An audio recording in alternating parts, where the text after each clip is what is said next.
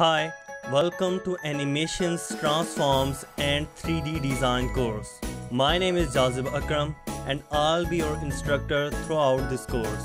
In this course, we are going to learn transitions, transforms, animations and 3D design that can enhance user interface as well as user experience on web. I have divided this course into two parts, building blocks and projects. In first part, we are going to look into some of the building blocks that are necessary to design animations and transforms. And in second part, we will build some projects. The projects will move from easy to complex design. Let me show you some of the projects that we are going to build in this course. First, we will create this transitive text in which we will add this cool user responsive effect so that when a user hover on any of the paragraph, he will be able to see this effect. And then we will see how you can add transitions on your forms like this. And after that, we will work on scale modeling in which you will see a diversity in styles.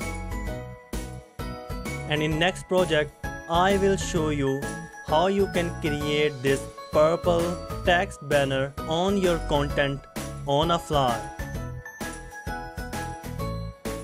And after that, we will create our picture gallery like this with the lightning effect on right and bottom side. And then we will see transitions in a very smooth and fine way like this and then we will create this 3D flip card from scratch.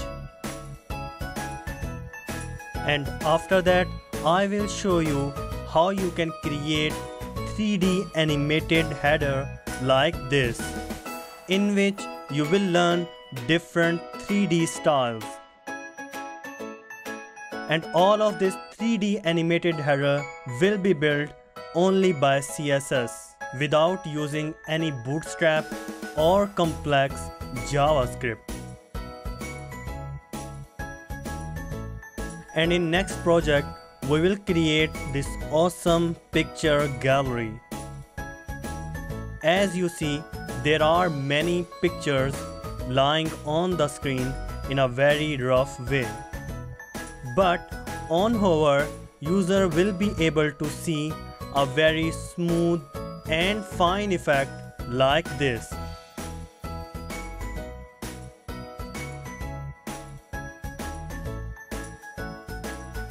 And then I will show you how you can increase user experience on your web by adding cool animations on your social media buttons like this.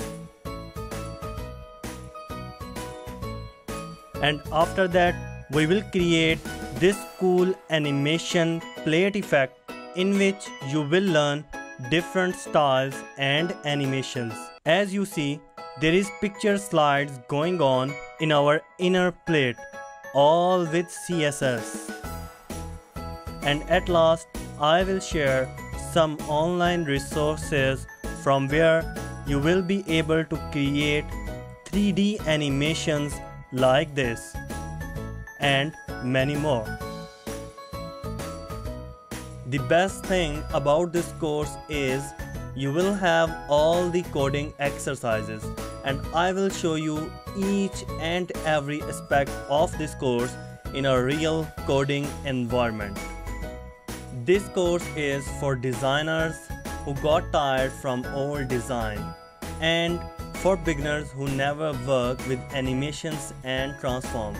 If you have just basic knowledge of HTML and CSS, then you are welcome to join. So, do you have modern animation idea? If yes, then let's transform your idea into a real world design. See you inside.